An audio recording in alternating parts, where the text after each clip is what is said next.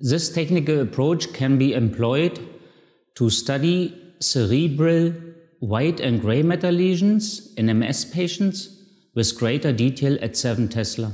The main advantage is that we can examine brain changes with greater detail at 7 Tesla compared to lower magnetic field strengths. The enhanced spatial resolution is made possible by the increased signal to noise ratio and by the sensitivity gain at 7 Tesla.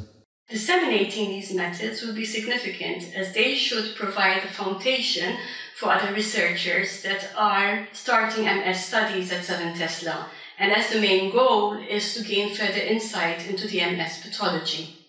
Demonstrating the procedure will be Antje Els, a radiographer and study nurse from our facility.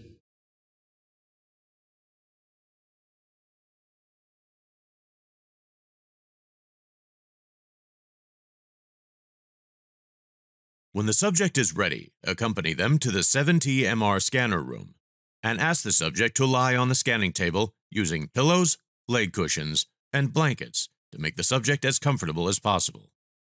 Connect an MRI safe pulse oximeter to the subject and provide earplugs and a handheld squeeze ball to be used during the examination in the case of emergency. Ask the subject to move closer to the radiofrequency head coil and have the subject close their eyes while the table is moved very slowly until the laser positioning is in full alignment with the marker cross on top of the coil. After saving this position, move the subject table very slowly to the ISO center of the MR scanner, while explaining to the subject that any side effects should resolve